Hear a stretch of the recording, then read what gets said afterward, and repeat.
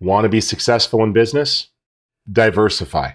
Don't put all of your eggs in one basket.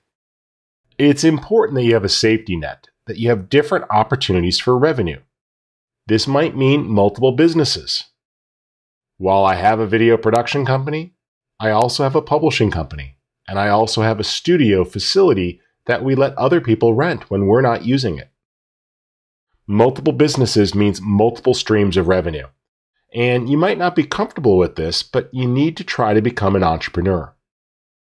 If all you do is work for others, you're never going to have long term revenue as soon as you stop working. Sure, you can save and you could put money away and try to build up your retirement fund, and those are good, important things.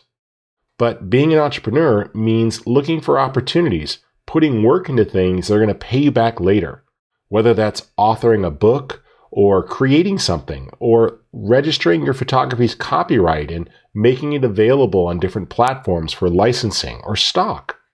It's great to have revenue come in at different points these revenue streams are critical.